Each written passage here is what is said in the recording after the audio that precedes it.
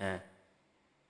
Kính bạch quý đại đức tôi có may mắn phát hiện ra kênh youtube của sư hạnh tuệ và nhờ đó đã khám phá ra được à, chánh pháp của phật giáo theravada. Tôi nghĩ đó là một điều may mắn nhưng trong phật giáo người ta nói rằng không có gì xảy ra vì một sự trùng hợp. À, đại đức vui lòng giải thích lý do đằng sau khám phá này à, có thể là nghiệp hoặc duyên ừ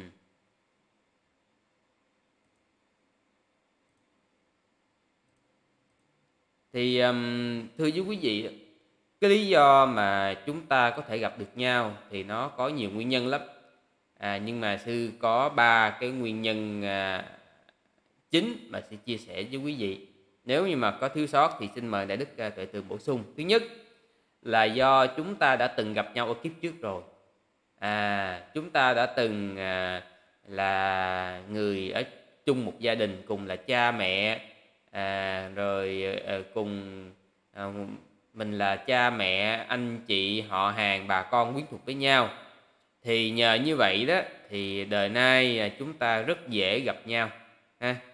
Cái nguyên nhân thứ hai là mình có cùng chung một mục đích.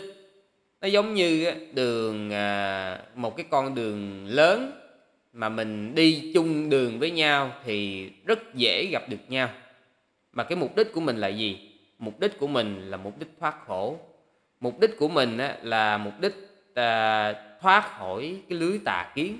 À, mục đích của mình là để thoát khỏi những cái à, vẽ vời à, à, của à, mà người ta mang danh là Phật giáo. Mục đích của mình là hướng đến sự giải thoát giác ngộ.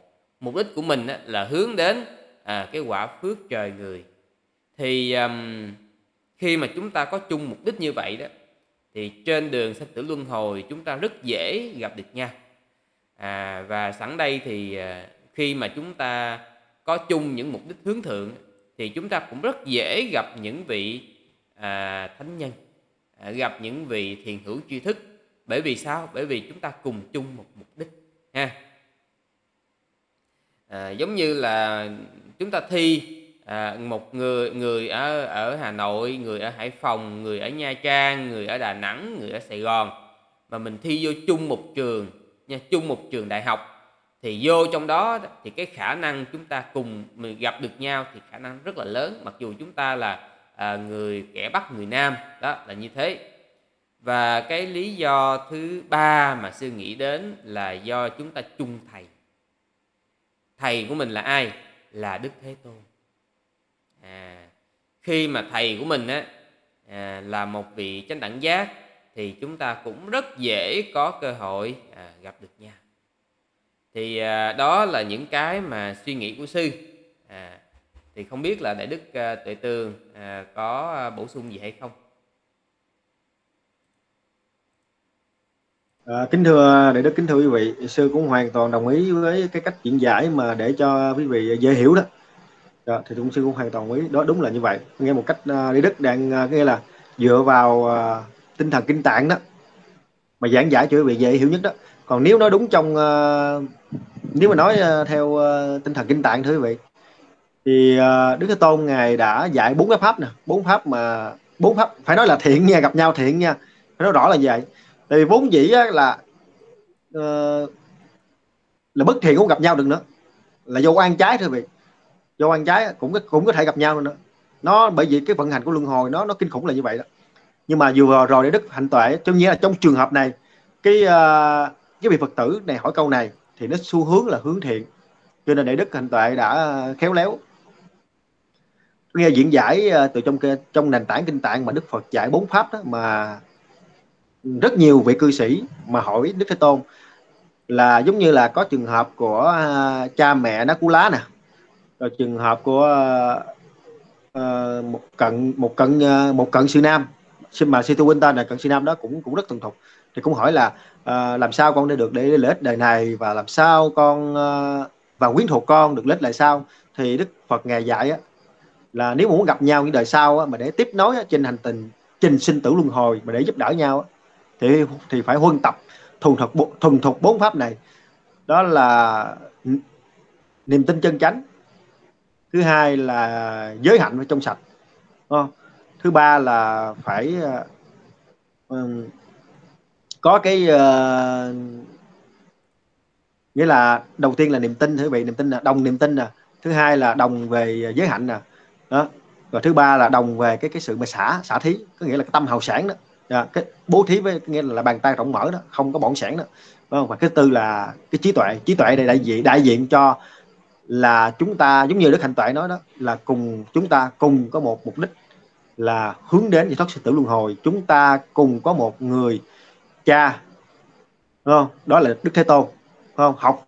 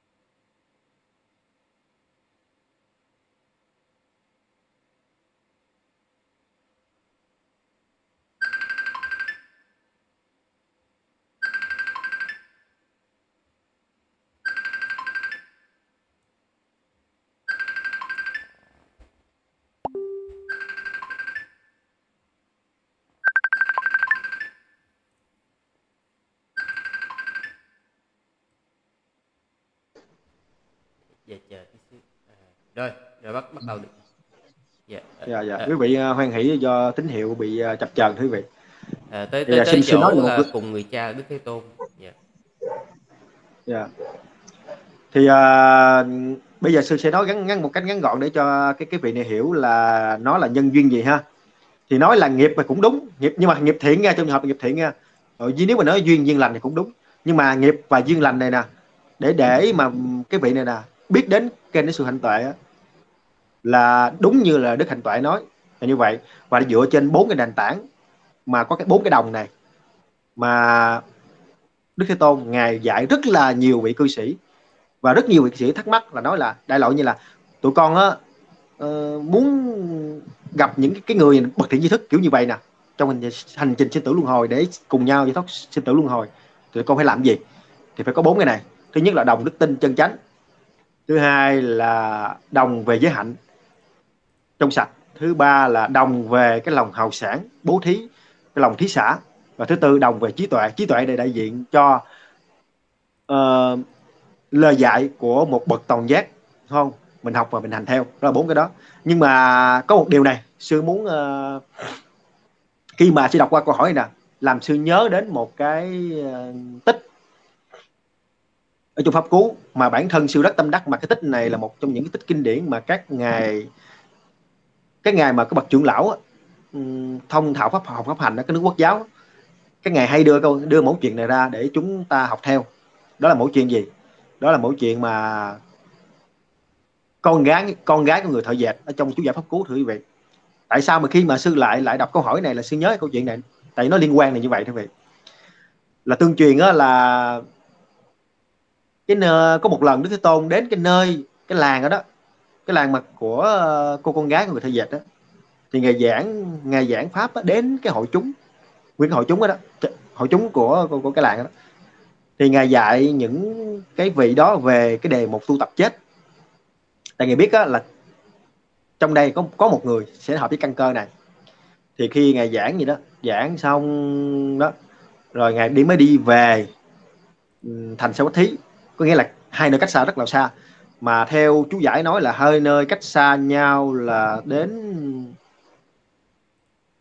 300 thưa quý vị 300 km đó 300 km thì khi mà Thế Tôn giảng xong á, thì hội chúng những hội, hội chúng mà kia nghe thì cũng bình thường đó cái nghe trở lại đời sống sinh hoạt bình thường. Nhưng mà riêng cô gái người thợ dệt này quan trọng biết nắm bắt nhân duyên thưa quý vị cô gái người thợ dệt không biết mình nhân duyên nói là à Đức Thế Tôn mình dạy mình như vậy nè. Cho nên mình phải cố gắng tu tập. Thì cái thời gian trôi qua 3 năm thì trong vòng 3 năm đó, cô gái người thời gian này là vẫn tiếp tục tu tập tu tập tu tập tu tập hàng ngày nghe, tu tập không gián đoạn nha. Đó, tu tập không gián đoạn cái đề một một tu tập chết. Đó, tại vì họ biết cái biết trân trọng nhân viên mà. Cho nên á, là đến một ngày thì đức thế tôn á, mới dùng thiên nhãn ngày quan sát là giống như là hôm nay sẽ tiếp độ ai. Thì ngài mới tiếp mình ngài dùng thiên nhãn mình quan sát à mình mới thấy, ồ, một cái nhân duyên rất là ngộ là cái cô gái này nè. Ở một nơi cách là xa, ba khoảng 300 km nhưng mà có khả năng giác ngộ. Cho nên ngài cất công thưa quý vị bị lòng bi mẫn ngài đi một quãng đường rất là xa để ngài đến. Đó. Nên ngài đến để ngài tiếp độ cho cô con gái người thừa dệt. Mà không quãng đường xa mà đi đi liên tục vậy. Bởi vì tại sao? Bởi vì nếu mà đức thế tôn không nếu đức thế tôn mà không có có có lòng bi, bi, bi lòng đại bi đó đại bi và đại trí như vậy thì người con gái người thừa dệt này là là qua thời điểm đó thì sẽ chết mà chết chết một cách tức tuổi mà sẽ tái sanh ở nơi ở nơi cảnh giới là xấu đó cho nên là chính vì vậy thế tôn mới lại mới quãng đường xa mới đến mới tiếp độ cho cái cô này để cô này đắc tu đồ hồn bởi khi mà chết đó, đã sanh về ờ, cõi trời thưa quý vị và đã là vị thánh rồi.